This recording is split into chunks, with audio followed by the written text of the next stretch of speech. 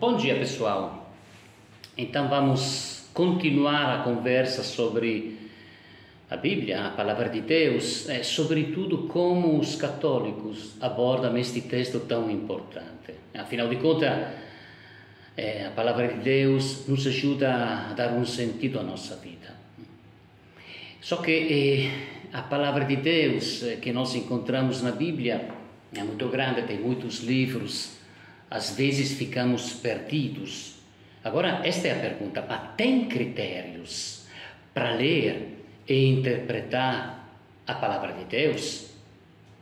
Como já vimos eh, na semana passada, na Igreja Católica, no 1962-65, elaborou um texto, eh, no Concílio Vaticano II, um texto chamado Dei Verbum, palavra que dá um nome a este documento pequeno eh, de 20 páginas, eh, palavra que quer dizer palavra de Deus.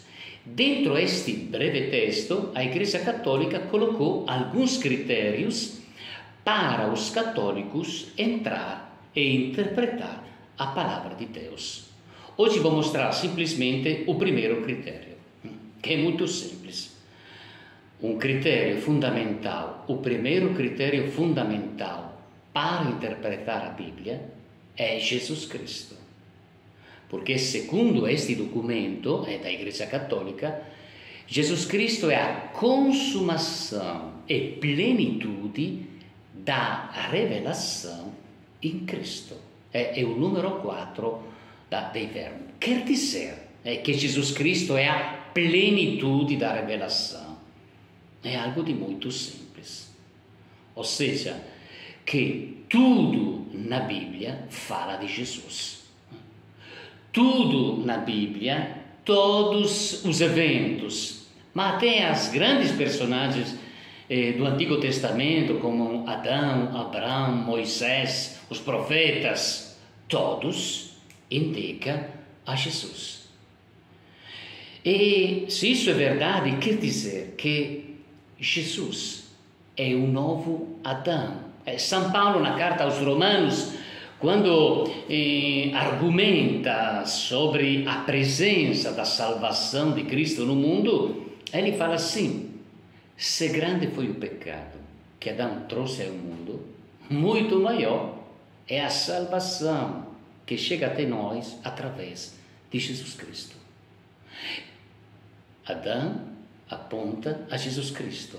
Ou, por exemplo, Moisés. O que, é que fez Moisés de tão grande? Claramente, além de eh, levar o povo da escravidão do Egito à libertação na terra prometida, passando pelo deserto. Nós sabemos eh, as tábuas da lei, os dez mandamentos.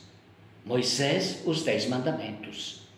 Se vocês lembram, naquela página fundamental que nós encontramos no Evangelho de Mateus, eh, o discurso das bem-aventuranças, Jesus fala assim, né, no capítulo 5, 6 e 7 do Evangelho de Mateus: Vocês ouviram que foi dito, vocês ouviram aquilo que Moisés falou, falou, mas eu vos digo. Jesus veio a dar cumprimento, né, plenitude à revelação. Ele é um novo Moisés ele é um novo Isaías. Ele dá sentido a tudo aquilo que nós encontramos na Sagrada Escritura. Por isso, se este é o critério, quer dizer que eh, para abrir a Bíblia, a primeira coisa que eu devo fazer é conhecer Jesus.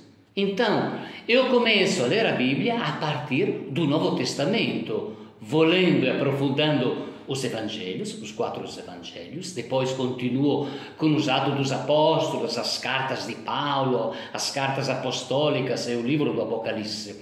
Quando eu tiver assimilado e aprofundado a pessoa de Jesus, entro no Antigo Testamento e vou descobrindo que todo o Antigo Testamento fala de Jesus. São Paulo, como sabemos que era um doutor da lei, hum, da lei da Torá de Israel, é um discípulo de Gamaliel, um grande também doutor eh, da lei hebraica. Então Então ele tinha um grande conhecimento do Antigo Testamento, ele quando percebe isso, graças ao encontro que ele fez de Jesus Cristo, eh, naquele dia que estava caminhando até Damasco para eh, pegar os cristãos, ele na carta aos Coríntios fala assim: Você lembra daquela pedra que Moisés bateu e onde saiu a água? Então, aquela pedra era Jesus. Como é a coisa? Este é o critério. E não é que a igreja inventou este critério, já está no Novo Testamento. Eu fiz simplesmente um exemplo. Paulo tem um monte de exemplos sobre este primeiro princípio fundamental. É Jesus a chave para entrar na Bíblia. Então, vai aprofundando lendo o Evangelho. Ma temos um outro texto muito importante, eh, que nós encontramos na carta aos Hebreus. O autor da carta aos Hebreus, que ninguém sabe quem é, no capítulo 8, ele riflette sobre um texto muito importante do Antigo Testamento, che è o capitolo 31 di Geremias, eh, mais ou menos no versículo 31, 34 deste capítulo 31 di Geremias, eh, o profeta Geremias profetiza uma nova aliança. E ali vem o autor da carta aos Hebreus.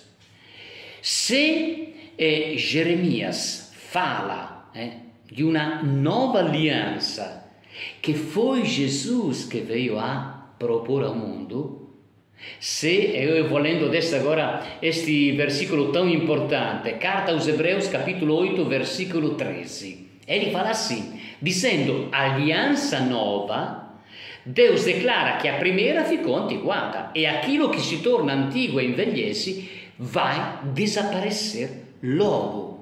É importante o Antigo Testamento? Claramente é muito importante, a palavra de Deus é palavra de Deus. Mas o sentido desta palavra de Deus que está no Antigo Testamento se abre com a chave de interpretação que é Jesus Cristo. Vou fazer um último exemplo fundamental: o tema das imagens. Sabemos, sabemos como este tema é tão delicado, porque nós temos os nossos queridos irmãos e irmãs evangélicas que amam muito a palavra de Deus eles sempre batem na cabeça dos católicos dizendo que veneram, são idolatras porque veneramos imagens. E ali vão pegando tantos versículos. É, o Antigo Testamento tem um monte de versículos que proíbem de fazer as imagens.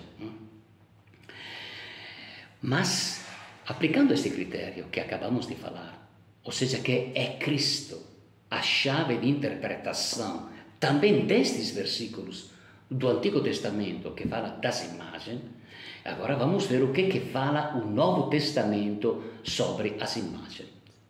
E, é, é o capítulo 1 da carta aos Colossenses, ao versículo 15, que é um, que é um capítulo importantíssimo, é que fala da identidade de Jesus. Quem é Jesus?